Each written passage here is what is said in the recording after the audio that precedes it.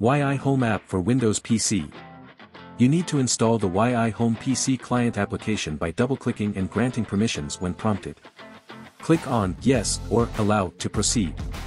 The application is available only in English and Chinese, but it is very intuitive and easy to install. Select the English language and press the OK button. Please select your location, I always select North America, even if you are in any part of Latin America, then click on the Next button.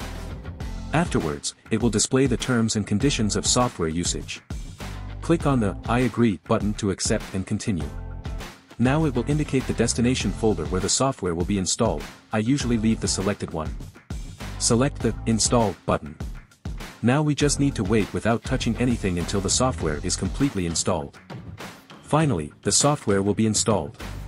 If you want the software to open automatically, you can finish the installation by leaving the Run YI Home checkbox selected and clicking the Finish button. An icon YI Home will be added to your desktop. Open it by double-clicking on it. When you open the software, it will ask for a username and password, these are the same credentials used to view your cameras from the mobile app. These are the credentials that you should have previously created when setting up your cameras with the mobile app. Click on the red button labeled YI.